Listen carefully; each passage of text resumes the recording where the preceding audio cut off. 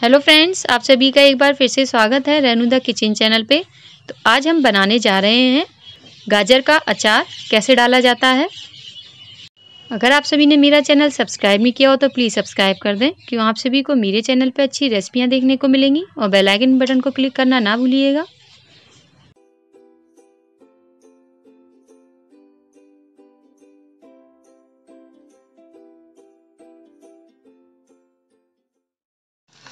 चलिए, बनाते हैं हम। गाजर का अचार कैसे डाला जाता है?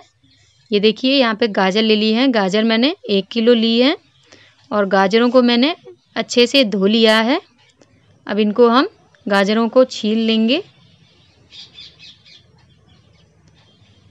गाजरों को हम इसलिए छील रहे हैं क्यों? गाजर में क्या होता है? कभी कभार ये मिट्टी लगी रह जाती है।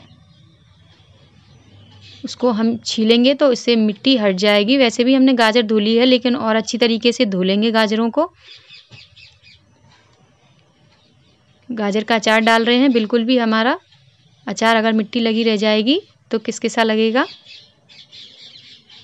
अब हमने देखिए, सभी गाजरों को छील ली है।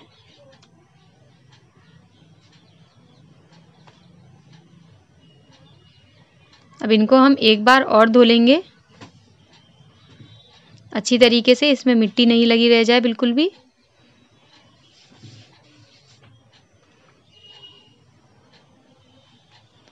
देखिए, पानी में से हमने निकाल ली है, अब इनको हम कट करेंगे। पीछे की हम इसको काट के अलग हटा देंगे। इसको बीच में से कट करेंगे।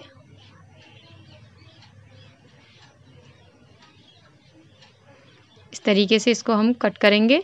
छोटे छोटे पीसों में। ये देखिए, मैंने इस तरीके से कट कर लिया है इस पीसों में। आप चाहें तो अपने हिसाब से बड़े छोटे कर सकती हैं।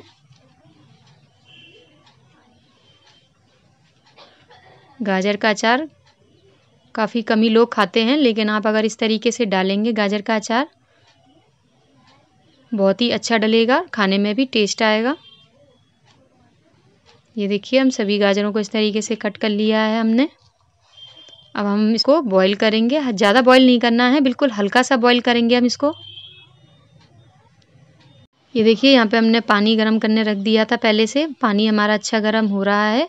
अब इसमें थोड़ा सा खदक और आ जाए, तब हम इसमें गाजर डालेंगे। ये देखिए, पानी हमारा अच्छा गर्म हो चुका है। अब इसमें हम गाजर डाल देंगे, जो हमने कट करके रखी हुई थी। और ज़्यादा हमें इसे बॉईल नहीं करना है। हमें खाली एक मिनट ही बॉईल करेंगे इसको हम, और फिर एक चलनी में इसको फैला लेंगे। ये देखिए, ये गाजर मैंने फैला ली हैं, और इसको मैंने कम से कम एक डेढ़ घंटा अच्छी तरीके से सुखा ली हैं गाजरों को। बिल्कुल भी देखिए, आप देख रहे होंगे, पानी नहीं है बिल्कुल भी। हमारी गाजर अच्छी सी सूख चुकी हैं। बिल्कुल भी गाजर गीली नहीं होनी चाहिए। अब यहाँ पे इसका हमने मसाला ले लिया है। मसाले मैंने पीली सरसों ली है। दो चम्मच है। इसको मैंने पीस लिया है, ग्राइंड किया है। ये सौंप है। सौंप मैंने एक चम्मच ली है, बड़ी एक चम्मच। वो भी मैंने पीस ली है। नमक स्वाद अनुसार है। तेल है। तेल, सरसों का तेल लिया है मैंने यहाँ पे। एक कप तेल है। चलिए बनाते हैं। अब इन सभी मसालों को हम इसमें डाल लेंगे। सौंप मैंने बड़ी एक चम्मच ली है, दो चम्मच सरसों की ली है, पीली सरसों। नमक स्वाद अनुसार टेस्ट के अकॉर्डिंग आप अपने डाल सकते हैं। इसको हम मसाले को मिला लेंगे। हाथ से ही मिलाएँगे, चम्मच से या उससे किसी से नहीं मिलाएँगे, क्यों हाथ से ही मसाला हमारा अचार में अच्छे से मिल पाएगा। अच्छी तरीके से मिला लेंगे इसको। जो गाजरों में अच्छी तरीके से मसाला हमारा मिल जाए, ये तेल है, तेल मैं डाल दूँगी इसके ऊपर से। अब इसको अच्छी तरीके से मिला लेंगे, जो गाजरों में बिल्कुल अच्छी तरीके से मिल जाए। इसलिए ये गाजर का अचार हमारा काफ़ी अच्छा बनेगा।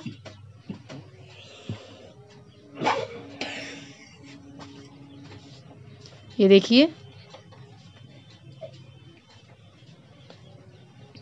मसाला देखिए, बिल्कुल हमने अच्छे से मिला लिया है। ये देखिए, हमने पूरा मसाला अच्छी तरीके से मिला लिया है। ये देखिए, अब इसको हम एक डब्बे में रख लेंगे, इन अचार को रख देंगे इसमें। इसको हम स्टोर करके रख देंगे। सभी को हम डब्बे में इस तरीके से रख देंगे। ये देखिए, हमने गाजर का अचार इसमें रख दिया है। अब इसको आप स्टोर करके रख सकते हैं और जब हमारा ये गाजर अच्छे से गल जाए, तब इसको हम खा सकते हैं। किसी के संग भी खा सकते हैं। खाना खा रहे हैं, उसके संग ले सकते हैं। रोटी, पराठा किसी के संग भी खा सकते हैं। अगर आप सभी, और ये देखिए, इसको स्टोर करके हमने रख दिया है। अगर आप सभी को मेरी ये गाजर की, अचार की रेसिपी पसंद आई हो तो लाइक करें, सब्सक्राइब करें, तथा शेयर ज़रूर करें। और कमेंट करके ज़रूर बताएँ कि आप सभी को मेरी वीडियोस कैसी लगी। इसको आप बीच बीच में एक बार ज़रूर है, हिलाते ज़रूर रहिए।